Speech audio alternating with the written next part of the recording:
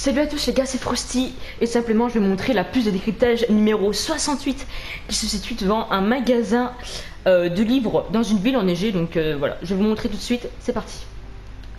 Donc les gars, hein, c'est bien devant la maison violette où j'ai ping en C109, voilà c'est la maison qui est là, vous pouvez la voir. Hop, donc euh, la puce je vais vous la montrer, donc vous montez à l'étage. Et hop ça sera sur le drap, donc je les file la vidéo en avance. En tout cas, merci de vous abonner et liker. Ça fait toujours plaisir les potes, bientôt les 1500, bientôt les petites parties personnalisées et tout. Voilà, voilà. Bon, en tout cas, ce, ce sera ici et c'est la puce décryptage numéro 68. Ciao les potes.